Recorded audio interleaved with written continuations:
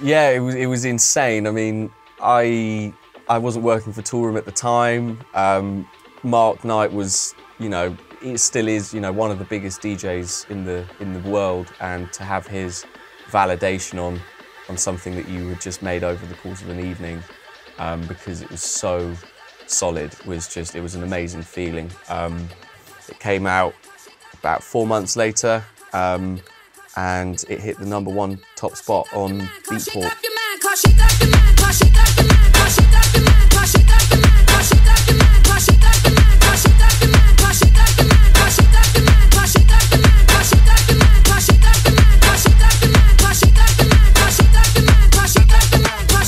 Now, I'm going to show you how I made this bass line, and it is how I make most of my bass lines. I would not normally put this on a vocal because a vocal's so, you know, dynamic, but this thing, it's not really a vocal. This is just a, a rhythmic musical part.